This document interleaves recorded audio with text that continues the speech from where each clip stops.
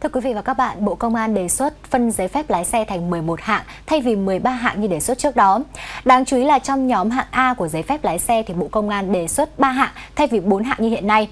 Với nhóm B, Bộ này gom hạng B1 và B2 thành hạng B. Ngoài ra thì đề xuất rút ngắn thời hạn bằng lái xe từ 10 năm xuống còn 5 năm.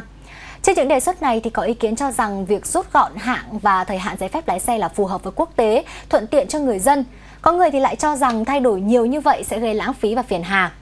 Chiều tối nay sẽ bàn luận về chủ đề này với khách mời là ông Nguyễn Văn Quyền, Chủ tịch Hiệp hội Vận tải ô tô Việt Nam. À, xin được cảm ơn ông đã nhận lời mời đến với trường quay của chúng tôi ngày hôm nay. À, câu hỏi đầu tiên mà chúng tôi muốn gửi tới ông đó là trong đề xuất chia hạng giấy phép lái xe, à, Bộ Công an đề xuất thì có bổ sung và xóa nhiều hạng bằng. Vậy thì ông có đánh giá thế nào về những đề xuất này ạ?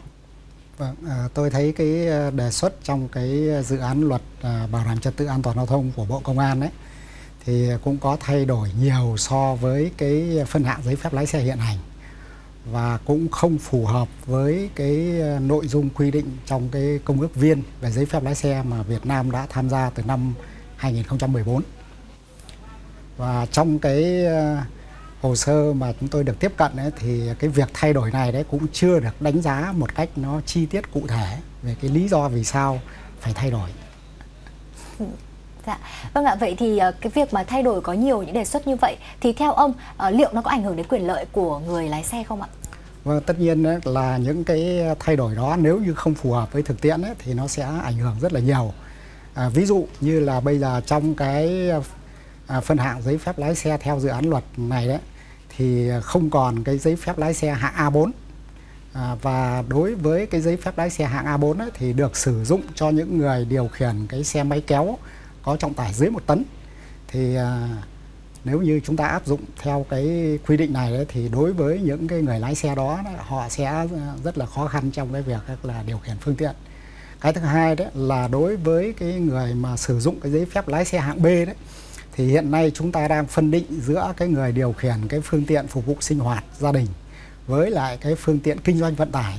à, tức là hạng B1 và hạng B2 nếu như bây giờ chúng ta gộp chung vào đấy thì cái này nó sẽ gây rất nhiều cái khó khăn cho các cái đơn vị sử dụng lực lượng lao động là lái xe kinh doanh vận tải.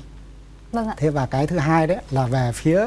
à, cái các cái cơ quan quản lý nhà nước trong cái việc quản lý giấy phép lái xe đấy nó cũng sẽ là bị xáo trộn bởi vì trước kia chúng ta đã phân định bây giờ chúng ta lại trộn chung vào đấy thì cái việc quản lý cũng sẽ rất khó khăn. Vâng ạ, ông có nhắc đến rất nhiều những khó khăn nếu như chúng ta thay đổi uh, theo đề xuất này uh, và nói riêng đến uh, hạng bằng lái là B thì bằng lái này hiện có số lượng lớn và nhiều ý kiến cho rằng là việc gộp B1 với B2 thành hạng chung đó là hạng B thì sẽ khiến cho lãng phí tiền bạc và thời gian và như ông vừa chia sẻ là cũng gây khó khăn. Ông có thể nói rõ hơn và cụ thể hơn không ạ? Vâng, rõ ràng là nó có một cái sự lãng phí vì trước kia đấy chúng ta khi đào tạo lái xe đấy thì chúng ta đào tạo hai cái hạng giấy phép lái xe hạng B1, B2 là chúng ta đào tạo theo một cái chương trình nó có khác nhau. Cái hạng à, B1 đấy thì chỉ đào tạo để mà cho người điều khiển cái phương tiện phục vụ sinh hoạt. Thì những cái nội dung về nghiệp vụ à, vận tải rồi một số những cái nội dung về văn hóa giao thông thì là không được à, đào tạo trong cái chương trình đào tạo giấy phép lái xe hạng B1 còn với cái hạng B2 đấy thì được đào tạo theo cái uh, chương trình là về lái xe về kết cấu phương tiện rồi có về nghiệp vụ vận tải về văn hóa giao thông. Và đối với người đào tạo lái xe hạng B2 đấy thì người ta phải được kiểm tra và cấp cái chứng chỉ nghề theo cái quy định của luật dạy nghề. Và những người này đấy là được quyền điều khiển phương tiện kinh doanh vận tải. Bây giờ nếu như chúng ta À, đem trộn chung lại đấy thì đối với cái người mà sử dụng cái giấy phép lái xe hạng B2 đấy rõ ràng là họ sẽ bị là thiệt thòi và khó khăn trong cái việc là họ tiếp cận với những cái, cái việc làm à, của họ thì đây là một cái sự lãng phí và cũng gây nhiều cái hệ, hệ lụy tiếp theo trong cái công tác quản lý cái lực lượng lao động của chúng ta. Vâng ạ. À, rõ ràng là đấy là cái vấn đề khó khăn trong việc là của người lái xe. Vậy thì còn ông cũng chia sẻ đó là cũng sẽ gây khó khăn cho góc độ quản lý. Cụ thể là như thế nào ạ? À, góc độ quản lý ở đây đấy là à, các cái sở giao thông vận tải hiện nay người ta đang à, quản lý cái lực lượng lái xe đấy. Thì à, người ta quản lý cái người lái xe hạng à, B2 rồi hạng C hạng D à, trở lên đấy. đó là người ta quản lý một cái lực lượng lao động mà làm nghề lái xe. Thì chỉ những cái người lái xe các cái hạng này đấy thì mới được là tham gia vào cái lực lượng lao động à, trong cái à, ngành kinh doanh vận tải thế và cái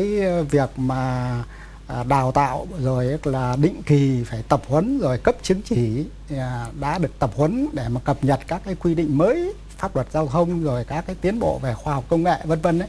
thì lâu nay là đều được theo dõi và chúng ta chỉ tập huấn, cập nhật cho những cái đối tượng lái xe chuyên nghiệp này. Thì như vậy là toàn bộ những cái hệ thống quản lý và à, nó phù hợp với yêu cầu thực tiễn nhất là hiện nay chúng ta thay đổi như thế, tức là sẽ không không không còn được tiếp tục theo dõi thì đó là cái sự lãng phí Vâng ạ, không chỉ có những cái đề xuất thay đổi về hạn nữa mà thời gian thì cũng có sự thay đổi. À, cụ thể đó là ờ, theo đảm bảo trật tự an toàn giao thông đường bộ quy định giấy phép lái xe hạng A01, A2, A3 không thời hạn, còn ờ, giấy phép lái xe hạng B thì có thời hạn 10 năm. Các hạng còn lại là C, D2, D, BE, CE, D2E, DE thì có thời hạn 5 năm. Vậy thì theo ông việc điều chỉnh thời hạn giấy phép lái xe như vậy thì có thực sự cần thiết không ạ? Vâng, à, tôi cũng uh, nghiên cứu cái báo cáo đánh giá tác động của luật thì uh, chưa thấy có cái phân tích cái nguyên nhân vì sao lại có cái sự thay đổi này. Thì à, ở đây là nó có hai cái à, khía cạnh mà chúng tôi xin được trao đổi. Cái khía cạnh thứ nhất đấy là ở cái giấy phép lái xe hạng B đấy nếu như chúng ta quy định à, với cái thời hạn là 10 năm đấy thì đối với cái độ tuổi mà từ khoảng 60 tuổi trở xuống ấy, có thể phù hợp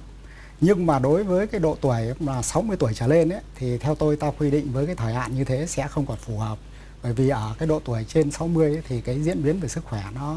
diễn biến nhiều hơn. Cái thứ hai đấy là đối với các cái hạng giấy phép lái xe còn lại mà quy định đồng loạt với cái thời hạn là 5 năm đấy thì cái đó cũng không phù hợp. Bởi vì là à, đối với các cái hạng à, CEDE tức là cái loại mà lái tức là lái xe cái cái loại xe là kéo cái rơ móc hoặc là semi rơ móc ấy thì đây là cái loại xe nặng.